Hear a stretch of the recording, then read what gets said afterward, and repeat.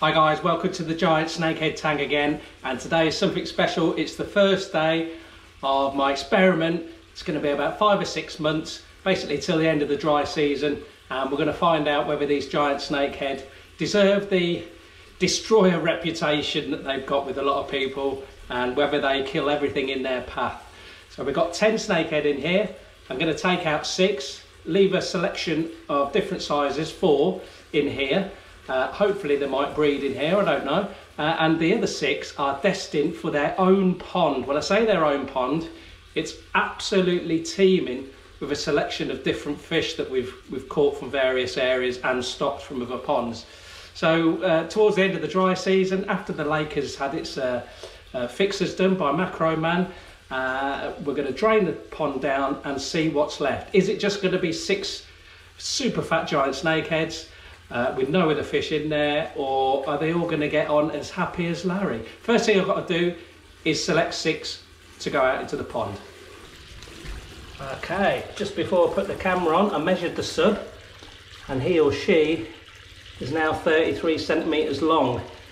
So put another four centimetres on since the last video, which I believe was about a month and a half. I think they're going to slow down now because they're not a particularly long fish, um, but they do fill out a hell of a lot.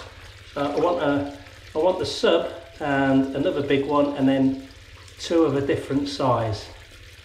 So have you.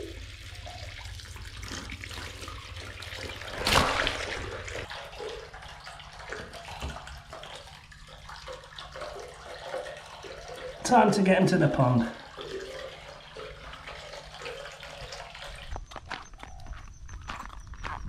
Course, the other reason I'm doing this is because it's the dry season now. We're getting into the dry season and the wild frogs are becoming quite hard to catch.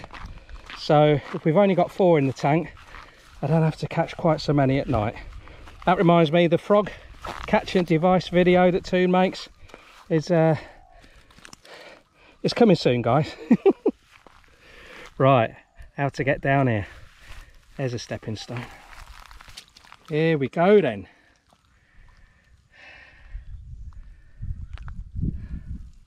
So in this pond, we've got Java barbs, uh, climbing perch, gouramis, bagazil, which are which are like a small white bait fish.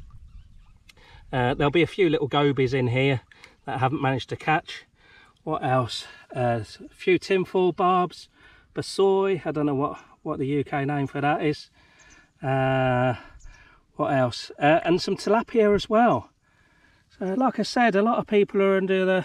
Oh, I'm not going to say illusion because it could be right uh, that these will just absolutely decimate a local fish population if they're introduced into that that water system uh, but we're going to wait and see I reckon five or six months is um, a good yardstick to find out obviously they're not going to eat absolutely everything well they may not if they breed it's a distinct possibility I suppose very easy to spot if they breed they're super bright red blood red they are or the fry and they stay at the surface right Let's let them go.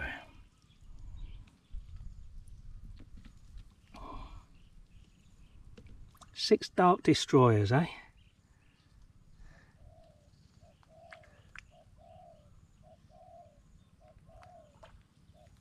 I hooked one of these on a surface lure in the in the lake the other day. My God, totally airborne. 100% left the left the water. Look at those. You know whether you love or hate them there's there's no two ways about it. They are an awesome looking fish. Look at that.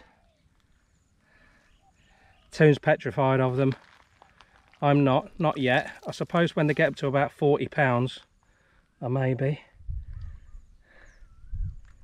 but wow if they stay like that on the surface that is something to behold isn't it eh I'm sure they won't though. Look at that. Fill your boots, guys. What a stunner. Now for about two, two, three months of the year, these, these four ponds near the house go very, very clear. So that would be a real treat if that happens this year. Wow, they're having a good look around. Oh, I'm so glad I've done this. Brilliant. Right, no more skinny dipping with the missus in here.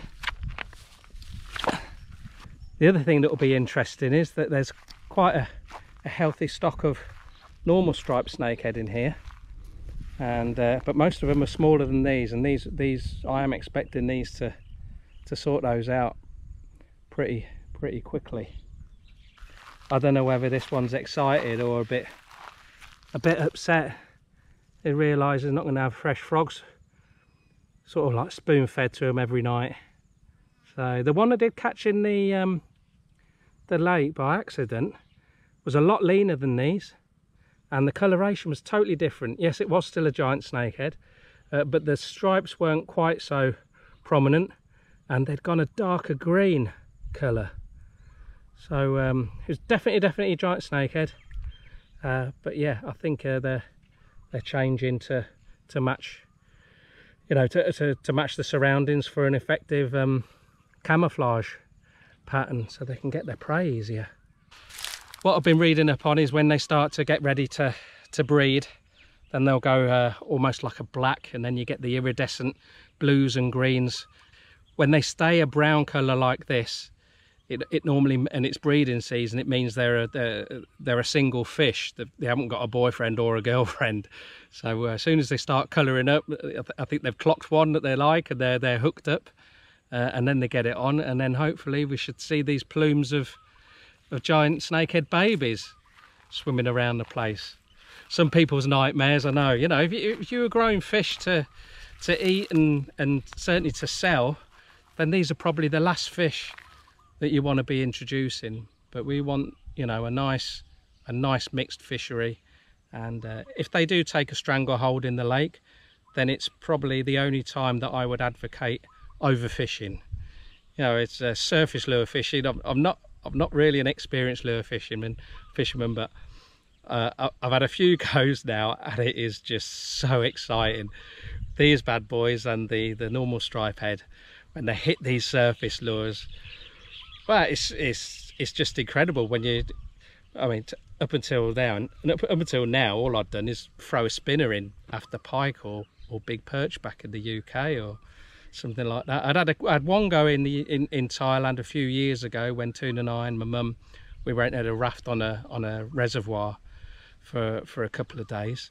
And uh, yeah that, that we had spinners out and we were catching jungle perch but it's not the same as when snakehead hit the surface. I imagine the same as um, people fishing for barramundi with poppers on the surface. So. Imagine that. 22 kg, about 40 pounds. That is going to be one impressive creature, isn't it, eh? Now, if this was a striped snakehead, this is twice the size that it needs to be for uh, for being sexually mature you get one of those about four inches long and it'll be full of eggs no problem. So tell us in the comments below what you reckon is going to happen. Uh, to give you a bit of a background if, if you if you just totally dismissive and it's fine it's you know it's, it's your opinion no problem with that. If you if you think they're just going to obliterate everything here's a bit of a heads up. I had put over 20 climbing perch in their tank over two weeks ago and I just drained it down, cleaned it and took these out. there's 15 left in there. So, you know, there's nothing else in there for them to eat, only frogs in the evening. And uh, sometimes when we've caught about 50 or 60, we'll put the whole lot in. And the next day there's a few left. So the, the, next night we won't feed them and then the next day there won't be anything there. So um, yeah, they've had ample opportunity to to uh, eat these climbing perch. What I think may be a factor in the future as far as them killing other fish goes is uh, when they do have a brood you know when there's a, when there's a, a, shoal of fry that they've got to take care of uh, then they become very very aggressive then. A lot of the the guys that specifically fish for these fish they don't fish for anything else. They're, they're, they're totally obsessed with them. They'll look out for the balls of fry on the surface and they'll they'll put their their frog across there and skip it across through the ball of fry and normally mum comes up and hits it. Uh, quite often they let them go. They'll, they'll, they're in their, their boats with their little electric outboards and they'll go back out after the uh, the ball of fry and they'll pop mum back in and then that's it she'll go off with the kids again uh, very very protective and that's why numbers can take hold very easily from what I've been reading about you know in a, in a water system that doesn't have something like Chao Phraya catfish. I was going to say alligator gar but obviously that's not a native species out here you know but they haven't got any natural predators themselves. Certainly when they get bigger um, then the survival rate of their young is incredibly high you know and they become active predators themselves at an early age. The good thing is these are quite used to me not as much as they used to be because once we switched over to frogs of course we were catching the frogs at night so feeding them at night they couldn't really see me. Uh, but certainly when we were giving them the croaking gouramis out of the crayfish pond and uh, the shrimp and all other stuff we were feeding them daytime and then as soon as you walk to the tank they they come up to you like they're a shoal of tilapia. So this created two experiments in one go in as much that the four that are remaining in the tank what's going to happen there? Because I've left one smallest the smallest one in there. Is that going to get picked off by the others eventually? Uh, to date we've had two um, come to a grim end through cannibalism. Uh, I, I think they'll be all right. Uh, and whether they'll breed in there or not hopefully we've got two of each. I've just guessed.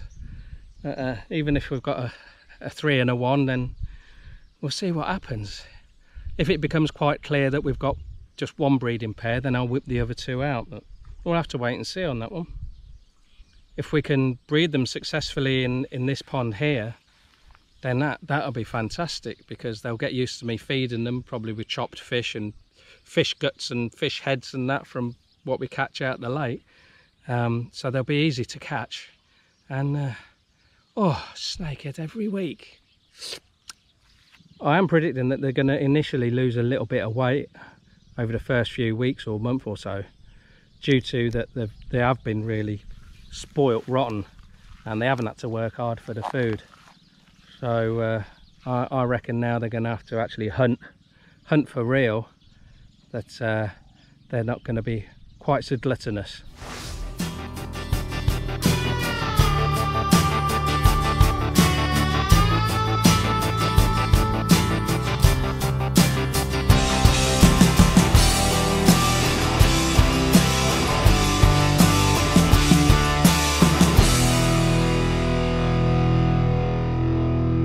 as always guys thanks very much for watching. Don't forget in the comments pop in there what you think is going to happen when we drain this down in about five or six months